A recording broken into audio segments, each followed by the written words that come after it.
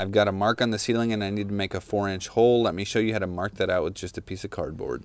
So I'm just going to cut a small little rectangle out of this cardboard. Doesn't really matter the size as long as it's around six inches long. Now I'm going to take a screw, in this case a drywall screw, and screw it in one end about a half an inch from the end of the cardboard. For this next part, you want to measure from the center of the screw and you need to mark the radius of the circle. So in this case, it's gonna be two inches. Right where you made that mark, you wanna take your pencil and poke through the piece of cardboard. Now we've made a little compass and it's time to make that mark on the ceiling. And now you see the point of the drywall screw, you'll take that and you'll screw it into where the X is for your mark of the center of the circle. I think you see where we're going with this now. Grab your pencil, put it back in that hole that you made and go all the way around and you end up with a perfect circle every single time.